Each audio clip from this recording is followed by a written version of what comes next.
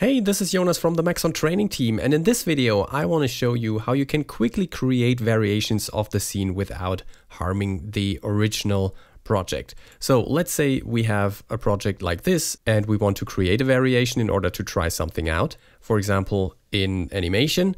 So what I can do is I can right click the project tab up here and then I just go to duplicate project. This will create this duplicate here. And then I can adjust whatever I want. For example, I could jump into the timeline and just move a few keyframes around and do all sorts of adjustments that I want to have in this variation of the scene.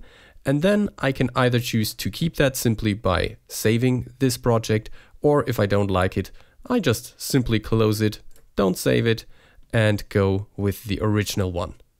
Thanks for watching. If you enjoy our quick tips, please like, comment and subscribe.